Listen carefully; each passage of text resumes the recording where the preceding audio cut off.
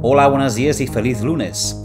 Hoy lo que vamos a hacer es una clase para principiantes y vamos a mirar las palabras que utilizamos para formar preguntas en inglés. Las palabras que vamos a ver hoy se colocan delante del auxiliar y las llamamos question words o WH words. Empezamos por la palabra what, que en español sería qué. What do you want? La palabra which se suele traducir como cuál, como por ejemplo, which do you prefer? ¿Cuál prefieres? Why se traduce como por qué de pregunta. Why are you here? ¿Por qué estás aquí?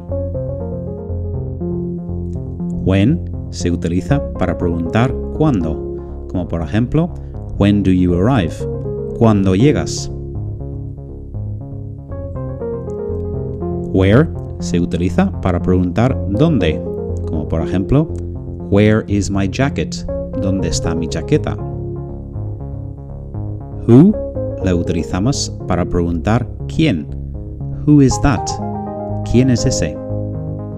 Y por último, how. ¿Cómo? How are you? ¿Cómo estás?